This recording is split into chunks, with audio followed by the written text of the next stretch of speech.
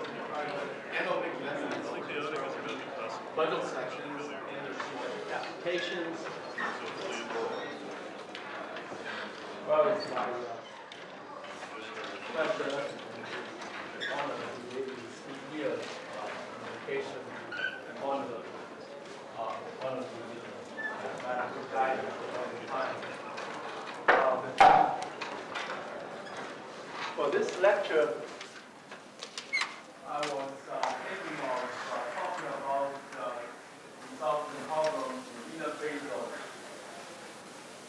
analysis and. As I look at the various resulting problems, I uh, came to the conclusion that maybe I should give a more general talk. Um, the uh, technique is essential to these results and problems. Uh, the technique actually, everything is boiled down to the construction of holomorphic sections. Holomorphic sections of line bundles. And uh, the point that I want to make is a special role of the canonical line bundle.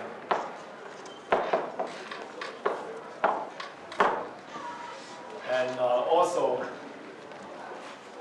the pluricanonical line bundle, which is uh,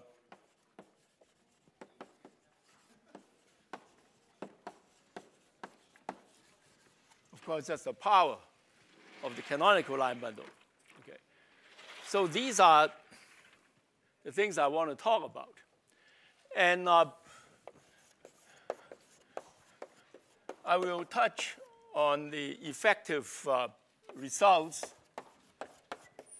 in algebraic geometry, well, such as um,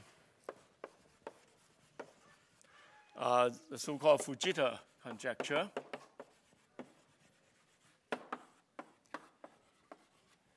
And uh, effective uh, Matsusaka-Big theorem.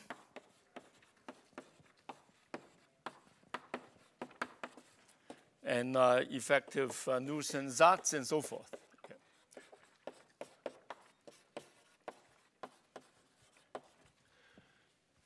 And then uh, I will talk about um, the abundance conjecture.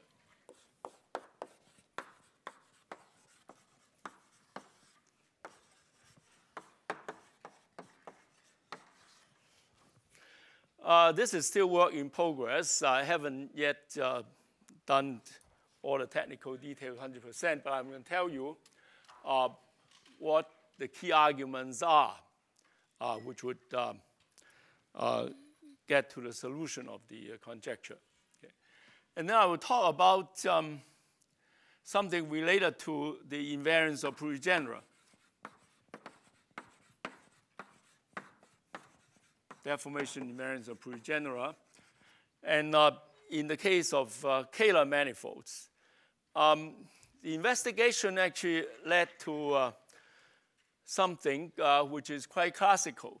And uh, I don't know whether it's known or not. Uh, I call it uh, pluricanonical Hodge decomposition.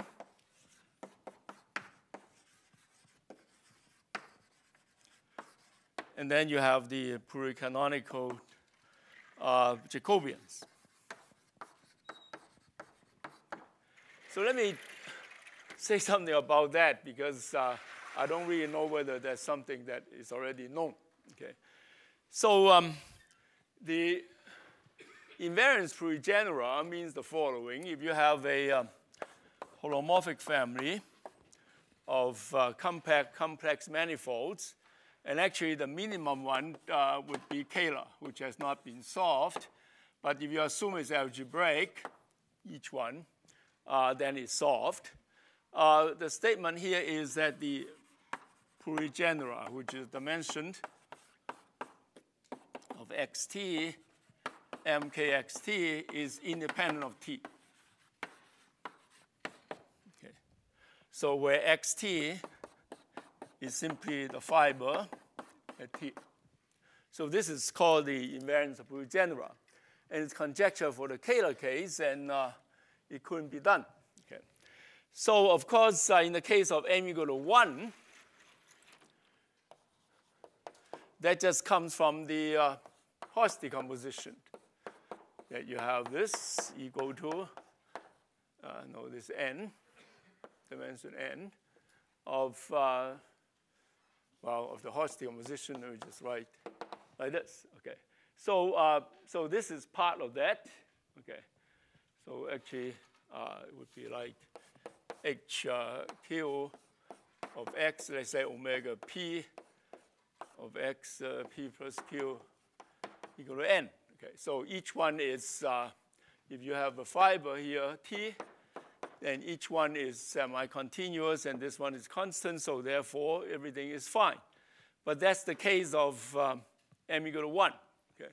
So when the case, when m is bigger than 1, uh, if you want to do it uh, in the same framework, then uh, you want to say that uh, h is 0 of xt, mkt, mkxt is, uh, let's say, the, the, direct sum of something inside something uh, that given by something that's like flat. Okay. And um, so is there such a thing? Of course, if there's such a thing, then you would give a, a, very natural proof. Okay. And as a matter of fact, in the case of uh, Riemann surface, dimension equal to 1, you actually have uh, such a decomposition. You have something like h1 of x, uh, so it's a compact, complex Riemann surface. Okay, let's say the genus at least two, just to make things easier. Uh, then you have something that's flat. I'll explain what it is. Uh, actually, it uh, contains it as a direct summand uh, this x0x of mkx. So I call this, uh, for the time being, because I don't know whether Jacobi knew it or not, uh, the uh, Hodge decomposition. Okay. And um, of course, uh, once you have that, uh, you can also look at the um, Jacobian corresponding to the periods and so forth. Okay. So actually, the, the map from this to this would be the periods. Okay. And um, the periods actually um, was first noticed by Bol, which is 1949, and later Eichler and so forth. Okay. But they were doing this uh, for the case of cusp forms. Okay. So I explain some more about it. Okay. So now let me uh, start from the beginning.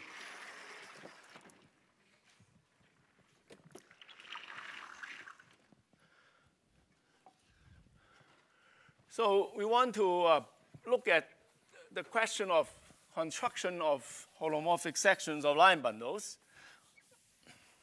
Of course, if you want to uh, get a map uh, in the projective space, uh, you could do it uh, like uh, Kodaira embedding theorem It's just a matter of constructing holomorphic sections. Okay. So how does one construct holomorphic sections? Um, the usual way is uh, Bochner's method of uh, completion of squares.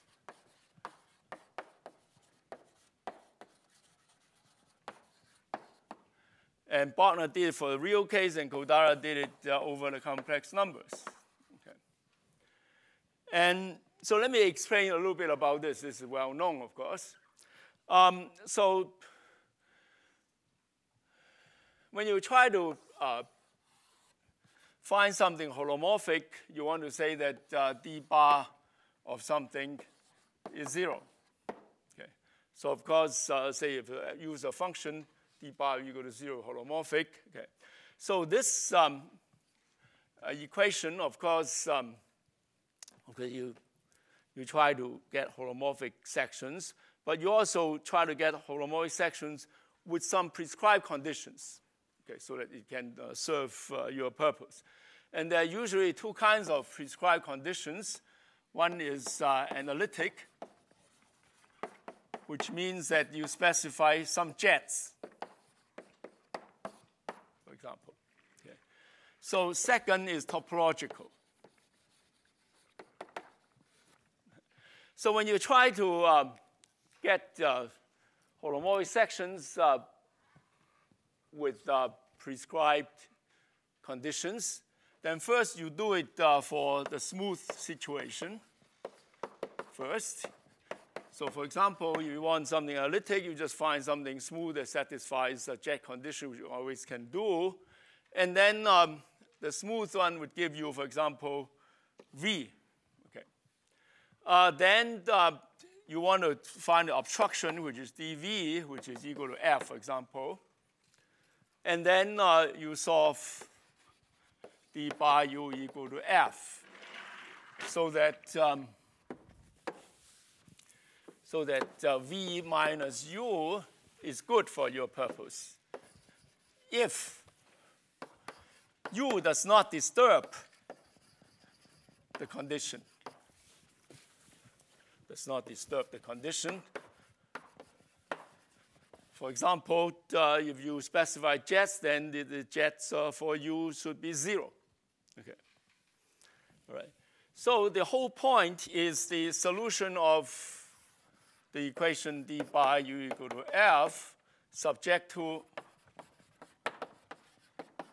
the compatibility condition d bar f equal to 0.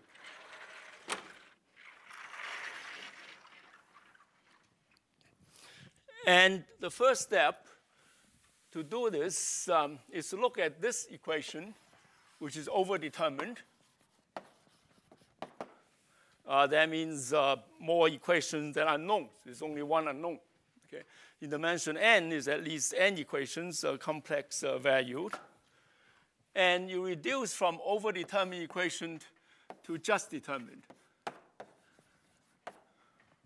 Uh, this was, I think, first introduced by Friedrich, maybe in the 1940s. Okay. And the way to do it uh, is just to uh, do simple high school algebra, linear algebra. Uh, so you have, you solve the equation, let's say the A of uh, x equal to b, for example just like matrix equations. Okay? And then subject to compatibility condition SB equal to zero. Okay? And then the minimum solution,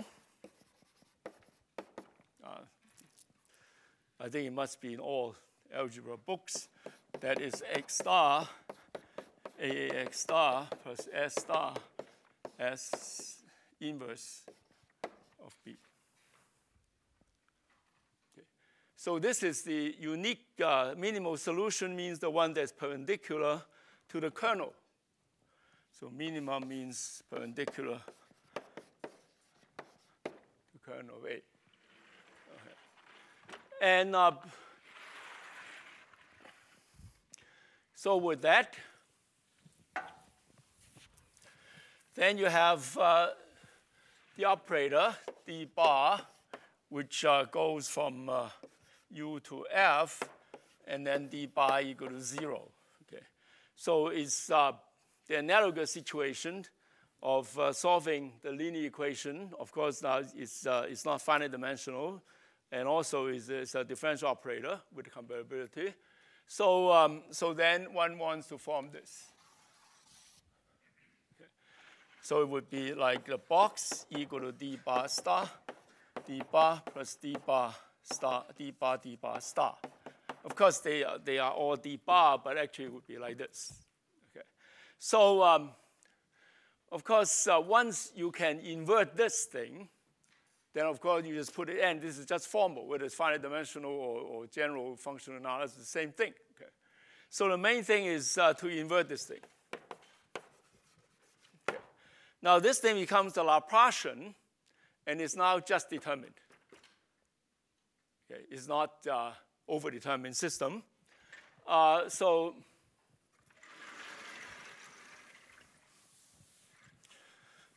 so Bochner used the uh, completion of squares to invert this. So here, here is uh, the complex version, which is actually by Kodaira. It's a nabla, nabla bar plus some curvature term. Uh, which is uh, rewriting of the, uh, this is high school algebra again.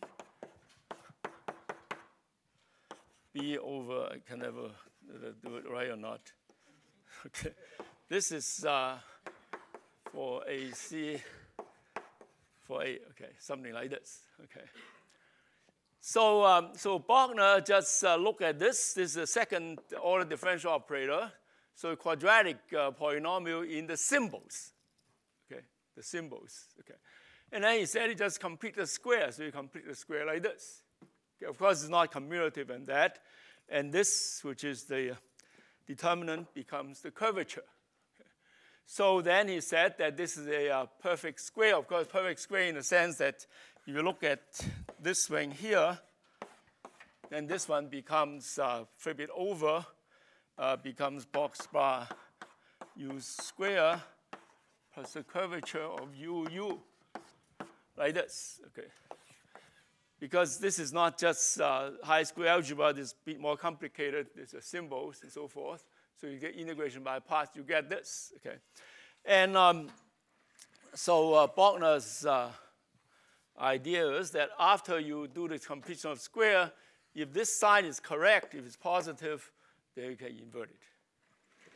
So uh, that's known as the Bochner technique. And the Bochner technique, of course, uh, gave rise to the vanishing theorem of Kodaira. So the vanishing theorem of Kodaira is that X is a compact, complex manifold Okay.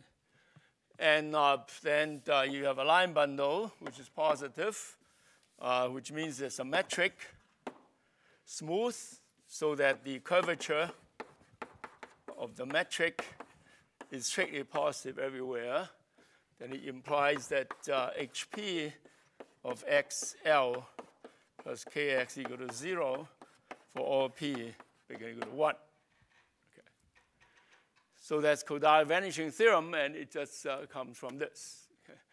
But uh, after you get a vanishing theorem, if you want to produce sections um, with certain prescribed conditions, you have to make sure that the initial condition, which I erase uh, here with analytic condition, for example, if you want to get uh, sections with prescribed jets, it means that when you want to solve the equation, let's say d bar u equal to f, then you want to say that the uh, jet for u vanish. Okay, okay, I explained this earlier. And uh, the way to do it is to introduce a singular metric. Kodaira already did this uh, for the embedding theorem. So um, what you do is that here, when you look at the completion of squares, you actually have an estimate. So if the curvature is bigger than equal to c squared, for example, then the, after you invert the operator, you can actually uh, solve d bar u equal to f with uh, u square, let's say you go to 1 over c, c positive, of course. Uh, without the square, now we have the square root with f. Okay. Because you just invert the operator. So uh, this is square, you get the uh, situation like this. Okay. So, of course, this means that uh, you actually get the metric like this. Yeah. That's actually uh, the metric that's being used. So uh, Kodaira's original idea is that uh, you want to do this uh, also with a singular metric, a singular metric, but uh, you preserve the condition that the curvature current here is still strictly positive uh, to some smooth positive one-one form in the sense of currents. Okay. Then um, in that case, uh, you still have the same result. So if this is bigger or equal to c squared in that case, then uh, this result is still correct, even though uh, this is singular metric E minus phi. Okay. So there's some technicality there involved in doing this. And uh, uh C.B. Morrey actually introduced a very important technique to make this kind of thing possible. So Kodaira's original uh, argument of the embedding theorem is that uh, if you want to specify a jet at the point P0, let's say, which is equal to z equal to 0, then what he did is that he simply introduced another metric c, another function, let's say smooth, on, uh, on the manifold x minus the point. And the behavior of c at this point is something like uh, z to the power 2q, for example, plus something smooth. Okay. Then uh, e to the minus phi okay, to something smooth. So that um, this is a function now. So you could uh, use uh, e to the power minus phi minus c as a metric for ML because this is a function. It doesn't uh, change the line bundle. Okay.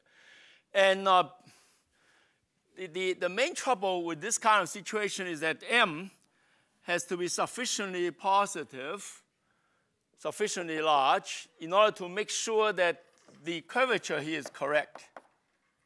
Curvature here, dd bar of m phi plus c is bigger than equal to some c square uh, as currents. Okay.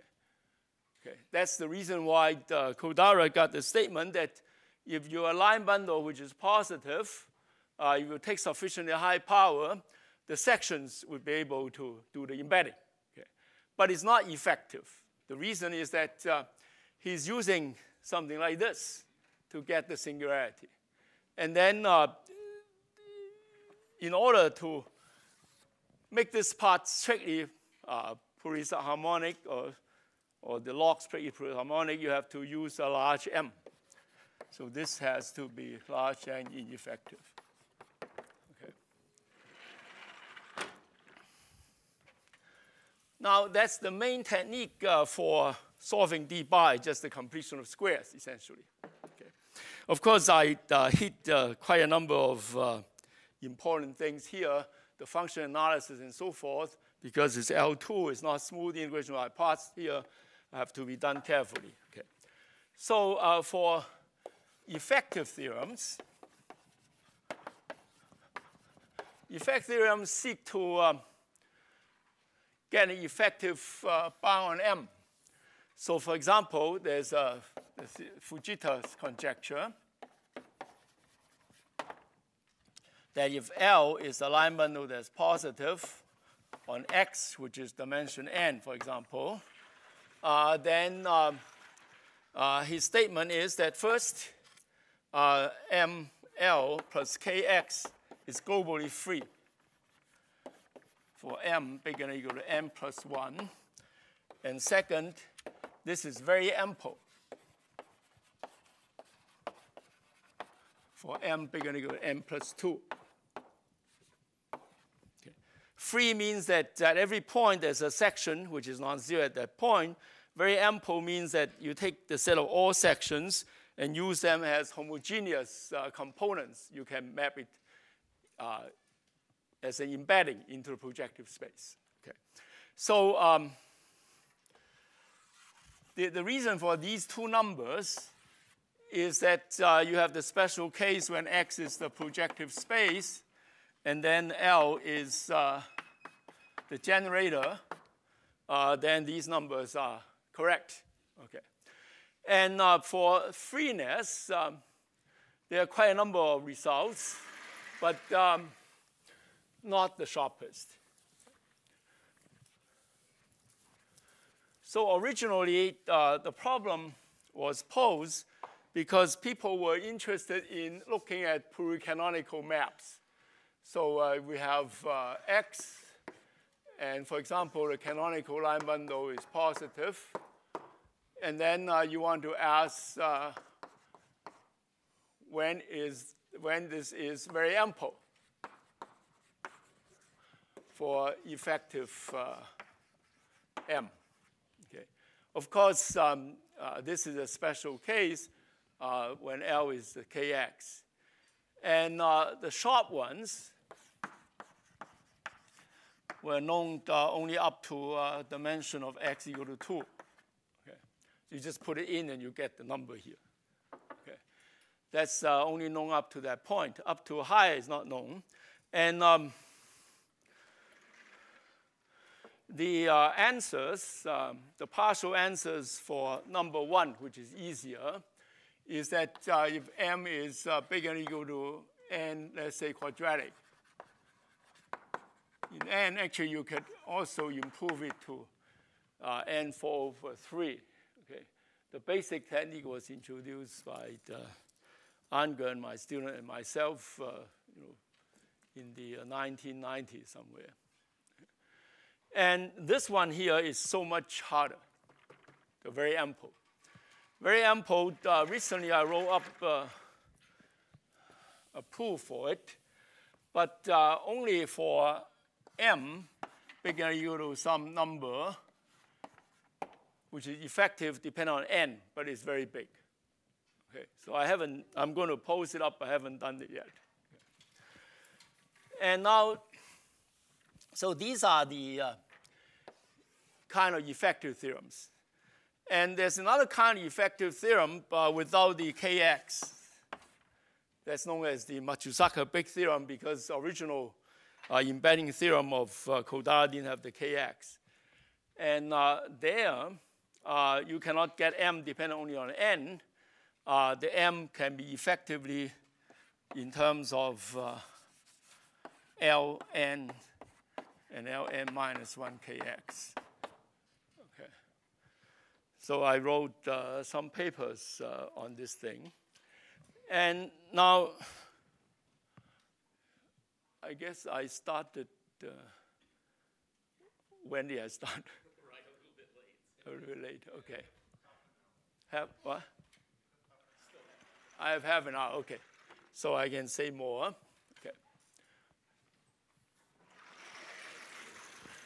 So I can tell you, first of all, uh, how these uh, effective theorems work, how are they proved. Okay. Um, the idea is very simple. The idea, again, uh, tries to get uh, some singular metric. Okay. So uh, there's the theorem of uh, Kawamata, Viehweg, and Nadel it says the following. If you have a metric for L, and um, this metric here may be singular, but uh, it bounds from below as a current okay, by something strictly positive. Uh, then you have uh, vanishing. But then, of course, uh, the main point of a singular metric is to make sure that your solution satisfies some L2 uh, estimate. Okay, so it implies, so we let I phi to be the set of all holomorphic function germs, so that this one here is locally integrable. Okay. That's actually the whole purpose of, uh, of introducing a singular metric. Uh, then it implies that uh, HP of x I phi of L plus Kx is equal to 0 for P bigger equal to 1. So, so this singular metric is being used to make sure that your solution uh, does not disturb any jet condition. That was the reason for it. Okay. And the, uh, the non-effectiveness uh, from Kodaira came from the fact that uh, you use uh, some singularities like uh, E minus phi, then you are in trouble because you have to make sure that this thing satisfies this, okay, which you cannot do, okay, unless you have something uh, strictly proves harmonic raised to high power. So effective theorems directly uh, produce a global E minus phi.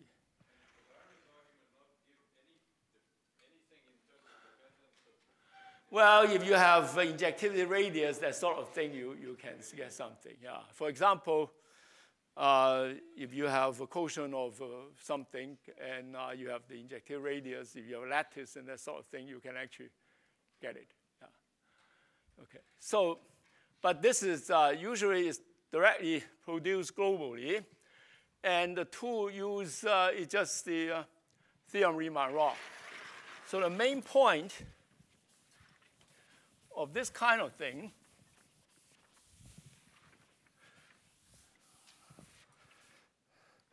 is that uh, you have dimension of x, let's say ml, is equal to mn ln m factorial plus o mn minus 1 if L is uh, to start with positive and uh, m sufficiently large. Okay, so this is just a Riemann-Roch. Okay, and the yeah, yeah, it's a Chern class. That's what I meant. Yeah, the same with the uh, Matsusaka big theorem. Okay, yeah, yeah. Okay. And um, what? Yeah, L, L is ample. Yeah, know, in the sense of algebraic geometry, it's positive. Yeah, in the sense of analysis, the same thing. So uh, here, the important thing is that because there are other terms here, and you have to make them vanish for m sufficiently large. Okay, that's the reason why this is being used. Okay, and suppose you have a uh, section here, S, let's say is a section of X and L, for example, uh, then you can get directly a metric 1 over S, 2 over N for L. Now, so this is known as a multi-value section. So this is a multi-value section, multi-valued section for L. And when you look at metric, you're taking absolute value, so it doesn't really matter. So when you look at metric, you can always um, assume that uh, you use this. Okay.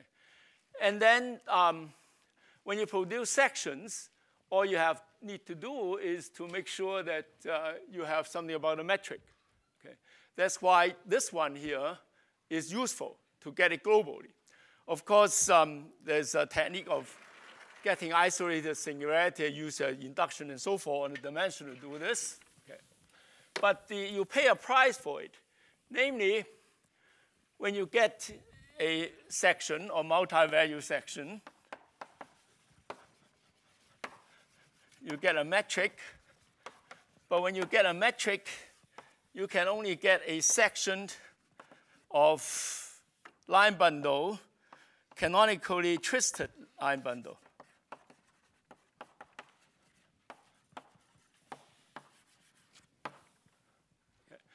Because uh, you get sections uh, by applying this kind of thing. And you have a canonical line bundle because of the volume form, because L2. Okay. But the metric here does not have that. So there's a gap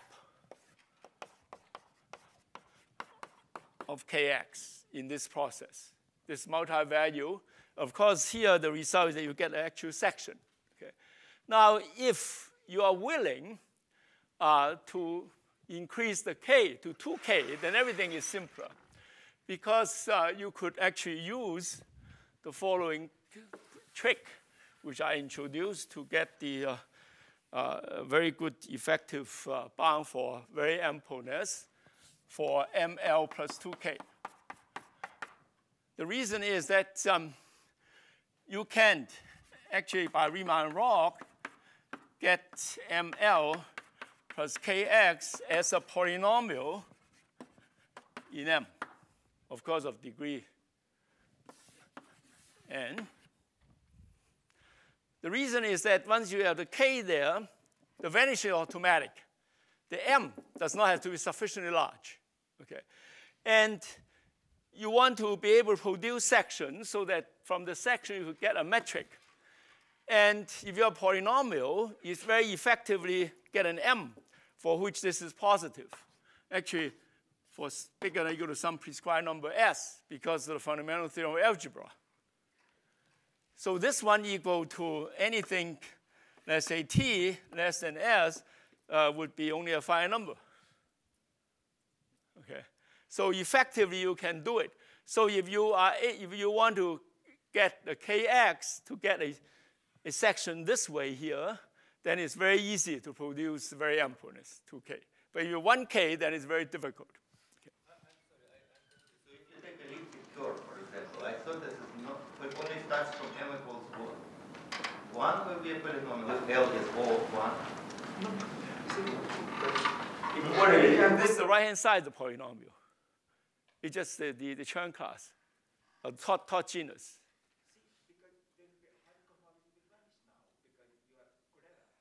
Yeah, it's called Kodaira vanishing theorem. Yeah. yeah. That's the reason why you, you use up the K.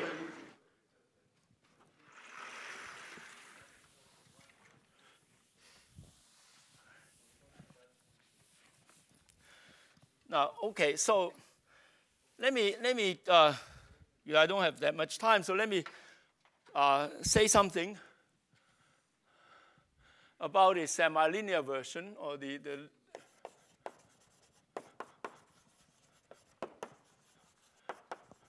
So the way to produce things um, that satisfy a uh, overdetermined system is the completion of squares. Okay, and you can do it not only as a section of a line bundle. A section of a line bundle would be like this. Okay, you can always do it uh, as a map from X into some manifold Y.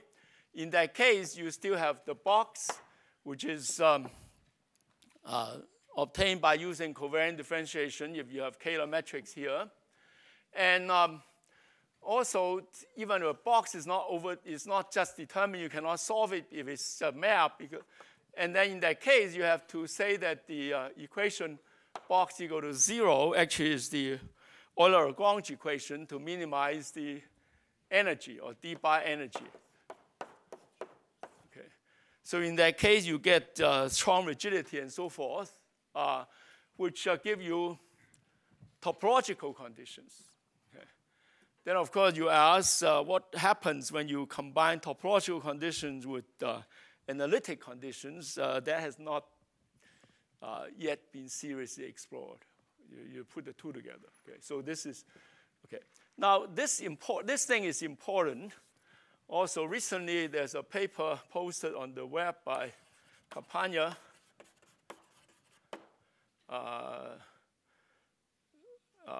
somebody, Hanton or something, and uh, Eyssidieux. Uh, I, am not quite sure about the spelling. Okay, uh, it is the um, uh, Shafarevich conjecture about a uh, the universal cover of a compact algebraic manifold. Okay, whether it's holomorphically convex. You want to produce holomorphic functions here. Okay, and the statement is about the, um, if you assume that the fundamental group is uh, linear, then you can do it because, uh, well, to make it simple, uh, you map this uh, into C. Of course, it's uh, more complicated uh, because suppose it's linear acting on it, then you can make equilinear and also do the same thing, okay, roughly. Okay. Now, I want to tell you something about the abundance conjecture,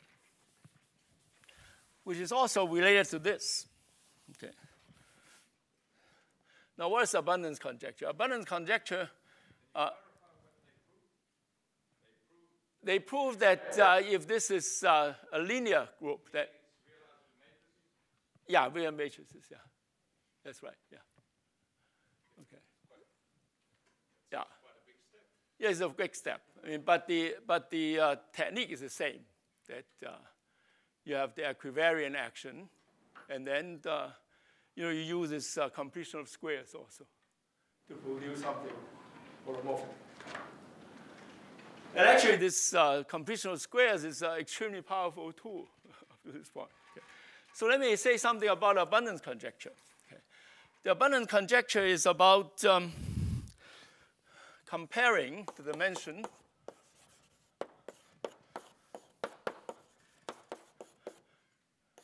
compare this one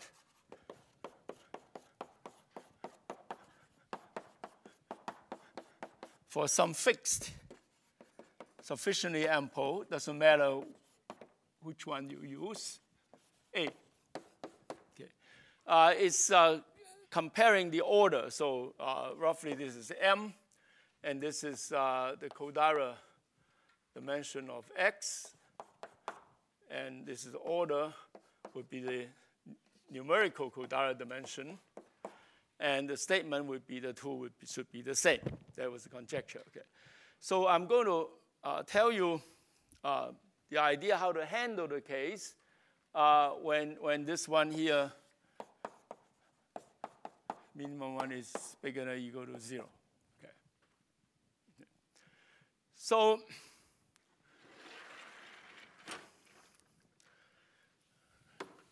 one important ingredient enters, uh, it is the use arithmetic. So, so far it's a simple high-square algebra plus uh, Riemann-Roch. Riemann-Roch is not high-square algebra, it's more complicated. Okay? So either you have the cobordism, you have uh, the uh, index theorem, and so forth. Okay. Um, and uh, what is the uh, arith arithmetic that enters? Okay. So when you solve the uh, L2 estimate for D bar, okay, that is uh, complex holomorphic and so forth. Suppose everything algebraic. Okay, there's the, there's the Gaga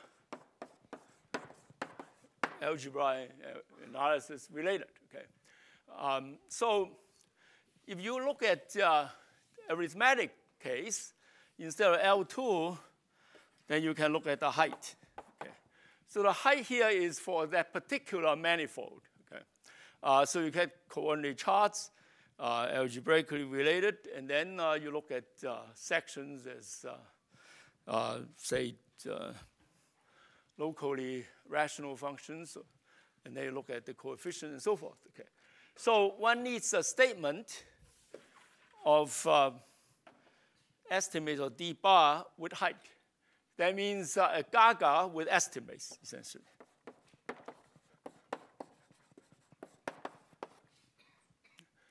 And uh, how do you going to achieve that? Okay, one way is um, to look at the uh, algebraic geometric proof for the vanishing theorem. Okay. Say the, the thing that uh, Deligne and Illusie, you see, I think it's 1987 or something. Okay.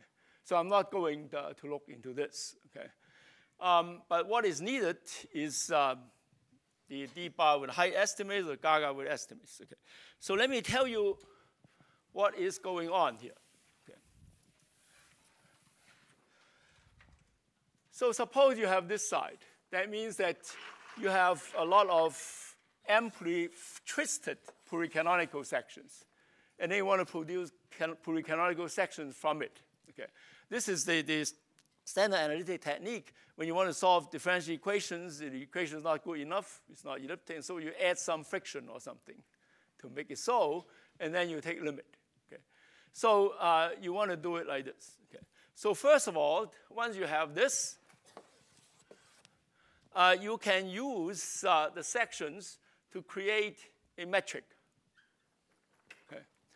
So, uh, so uh, you want to use uh, multi-value holomorphic sections. And you take the sum of that uh, to make it uh, as uh, regular as possible. And you produce a metric that depends on A. Of course, when you look at this, actually, if you change this, let's say that overkill, then this will be overkill, then you can actually make this go to zero. Okay? So in the case of metric, you can actually take limit and you can get some uh, canonically uh, associated metric for the canonical line bundle. Okay? From the amply twisted pluricanonical sections, okay, and then uh, take roots and so forth. Okay, and so the trouble is that you get only a metric and you want to produce sections. Okay, now this metric is not going to be positive strictly because uh, the number, unless the number is n or something, you know that that's not possible. It's not going to be strictly positive but it's going to be strictly positive at some places, at some dimensions. Okay? So you want to look at the you look at the uh, completion squares of Bochner. If you have only some directions that are positive, you cannot invert it. Okay? You can uh, only look at the absolute value square term.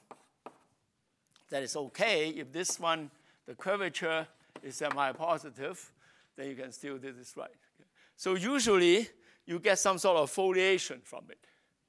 Okay.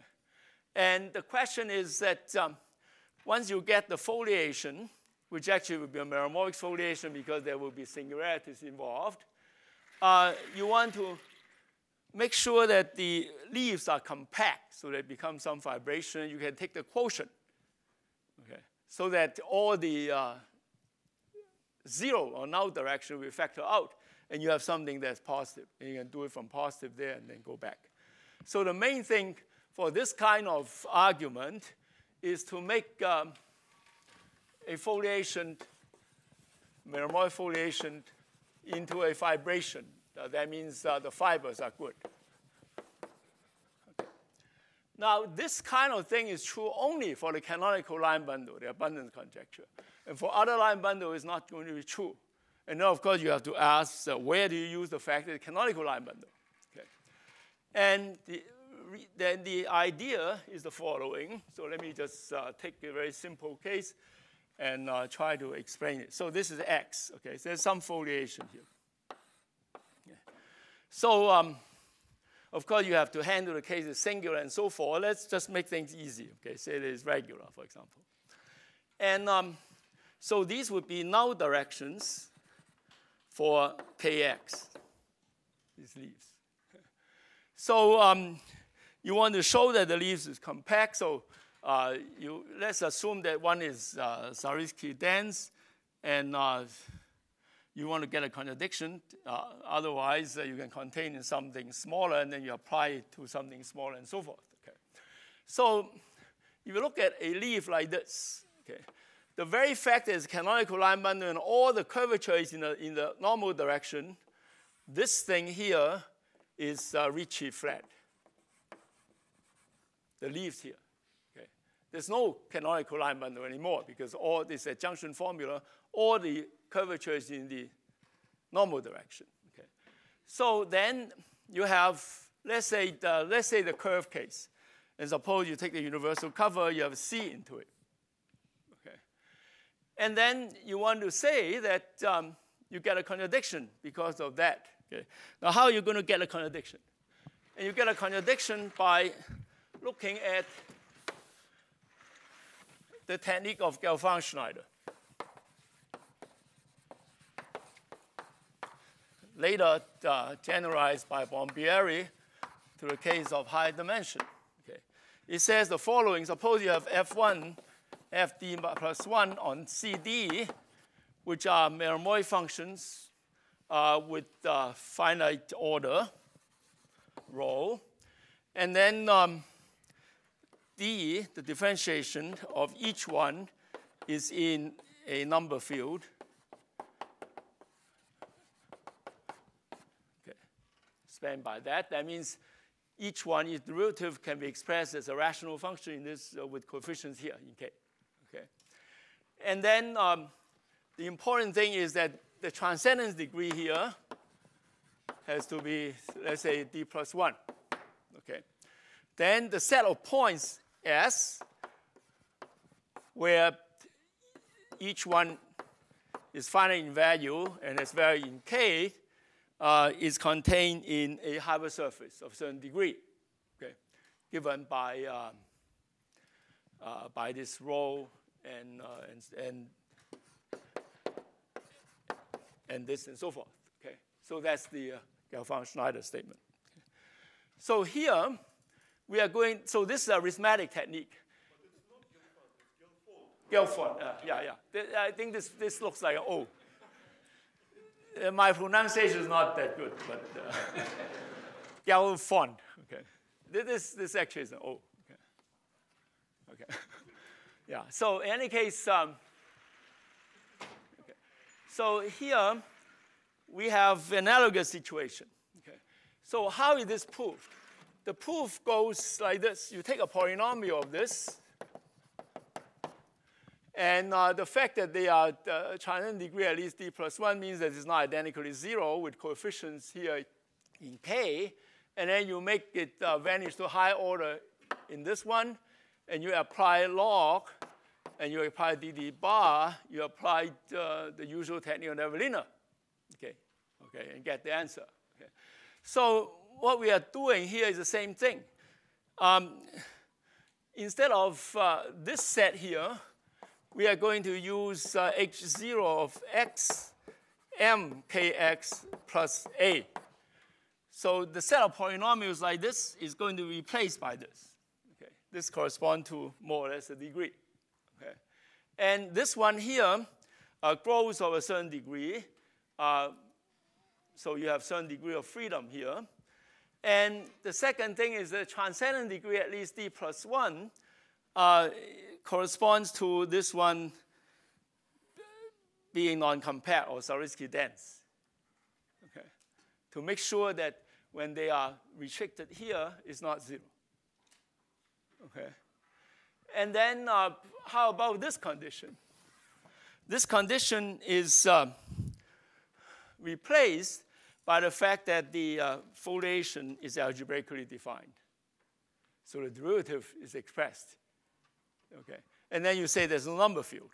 But the, the usual technique is that you could specialize uh, a certain number of transcendental numbers uh, into appropriate algebraic numbers, and then you get the field that you want, okay? And so here, there's the, the rho here.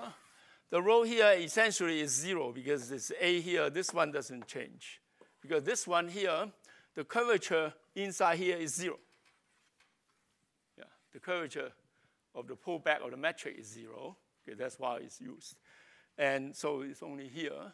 And then if you get uh, vanishing at some points, you get a contradiction. So this arithmetic argument uh, to get this thing. Okay.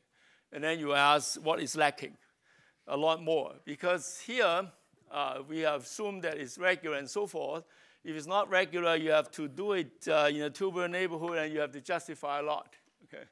And also, uh, when you come to the use of this Gaga with estimates, um, so I'm still checking this to make sure that uh, you get the numbers correct. Because you can always get estimates, but they may not be good enough to handle it. And now, I don't know how much time, uh, five minutes, 10 minutes? Yeah, okay. So, so this is a situation with the abundance conjecture. And, and uh, here, uh, it is the same as completion squares, except that you have some null direction, and then you have to make sure that null direction can be factored out, and that is done arithmetically. Okay. So I want to emphasize that this is still uh, in progress because I haven't yet got 100% all the details. But this is the key point that makes things work. Now, the last thing I want to say uh, is about this pluricanonical Hodge decomposition. Okay, I, I, just make up this term. Maybe it's meaningless thing. Okay. Um, so what happens if you take X uh, compact Riemann surface, genus at least two. Then there's a map defined by Bol. It is the following. If you take um,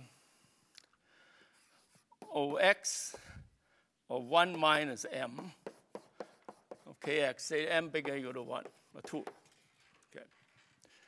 And uh, you can get a canonical section here. You can map it to x, OX. Uh, actually, you don't have to get the section level. This local is good enough. O of MKX, okay. So this is uh, the relation between the two here is reflection uh, with respect to number half, okay. And what is this map? So this map is given by differentiation 2m minus 1 times of the coefficient fz dz 1 minus m. And uh, z uh, is the coordinate for the universal cover.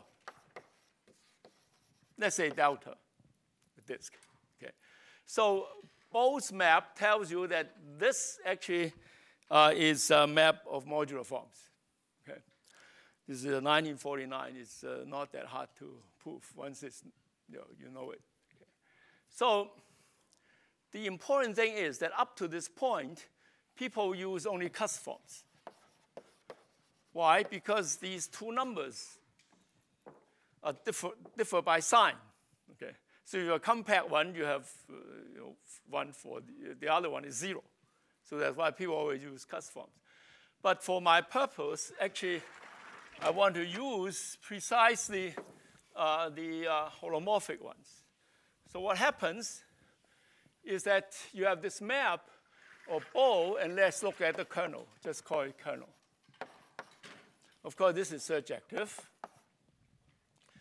And you, now what is the kernel? Well, you, you, I'll do this a little bit later, okay? So what happens is that you have to look at the long exact sequence, then you would get this x0 here, going to h1 here, and then h1 here. Okay. x0 here is 0, at least 2. So you end up with h1 of x of the kernel. Uh, let me give it a name, phi here, kernel phi is actually equal to h0 of this O mkx plus h1 of this x uh, O1 minus m kx. This one actually is the same as this uh, by duality. Duality, the same. Okay. So uh, this, so what is this thing here? So this thing consists of all pz dz1 minus m, so that pz is a polynomial of degree less than or equal to 2m minus 2. And of course, uh, only the coefficients matter, so it's a flat bundle. Okay. So this is a uh, so I call this pluricanonical Hodge decomposition the flat bundle. Okay. And uh, there is actually a Jacobian uh, associated to it.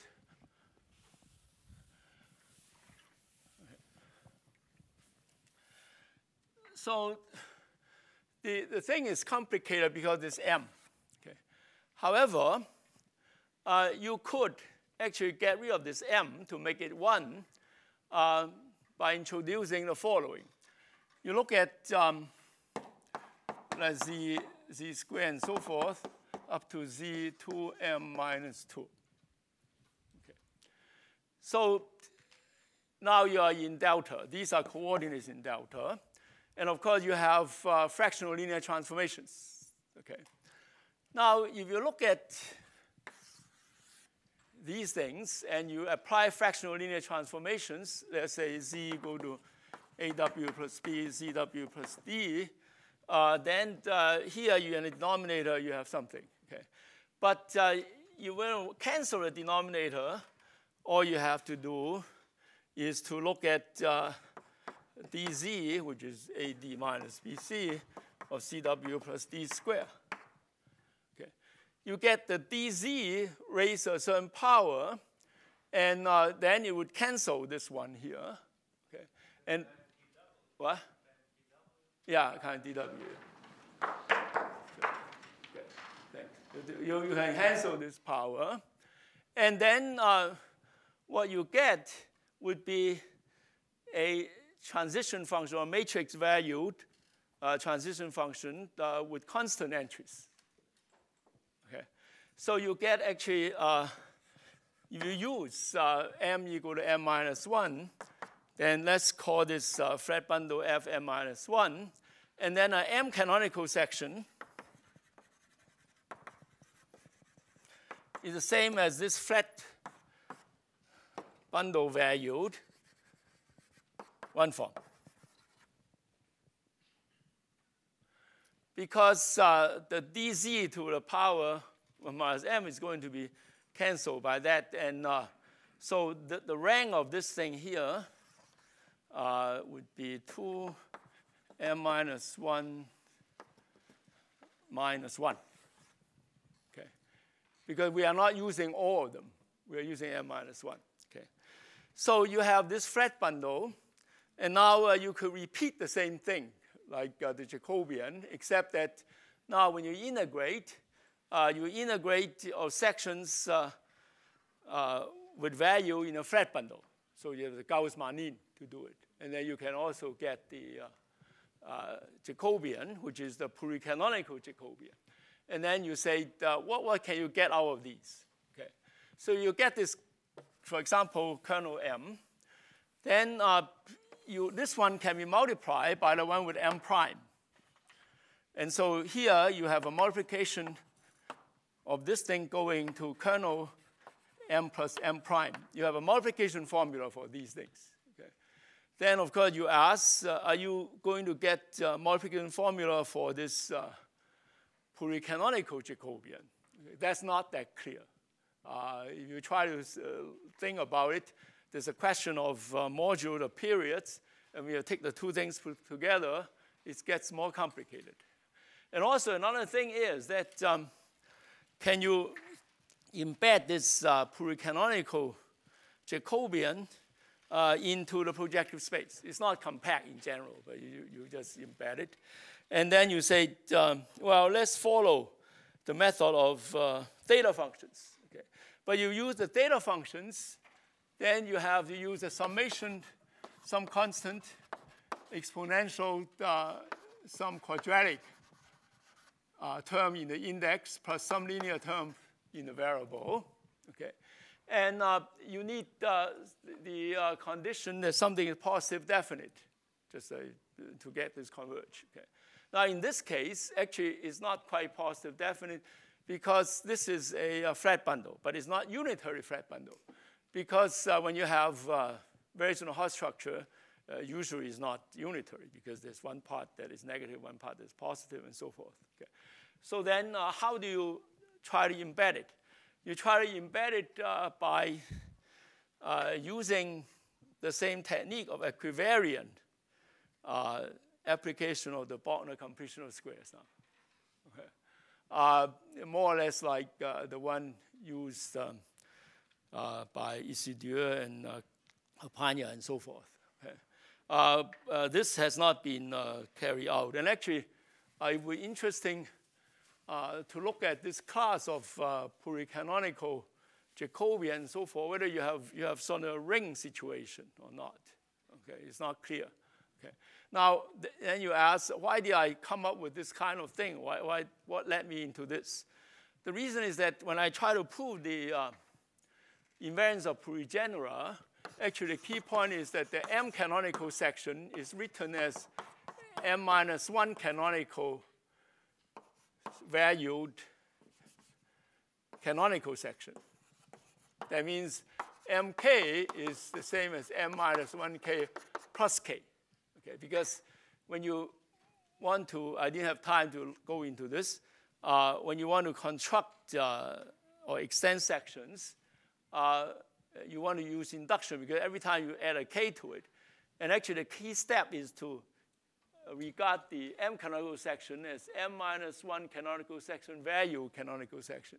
So it's the same situation as the one being used here. Okay. of course, it's a long shot if you try to do it for a Kähler manifold. I mean, what can you do? In a high dimensional case, um, if um, your manifold a projective structure, you just repeat the same thing. But in general, it's not clear what is going on. Or maybe it's not exactly the same, but uh, maybe uh, uh, more or less in the same uh, framework. Okay. I think I ran over time a bit. Okay, thanks.